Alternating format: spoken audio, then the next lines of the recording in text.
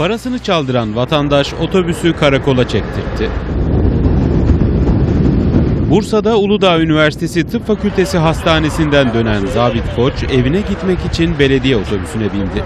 Ancak bir süre sonra 2800 liranın cebinde olmadığını fark etti. Bunun üzerine hemen polisi aradı. Pantolonun sağ cebinden.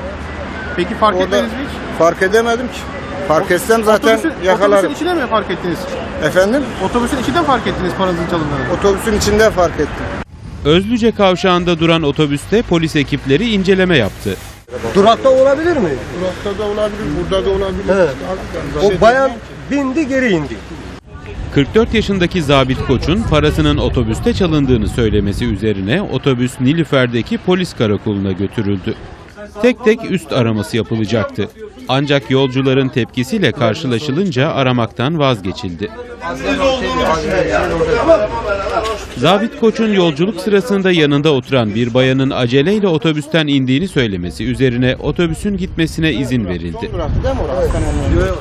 Bir bayan sıkıştırdı. Peki siz gir- girdikten sonra paranız duruyor muydu? Bu duruma isyan eden yolculardan bazıları terminalden kalkacak otobüslerine geç kaldıklarını söyledi.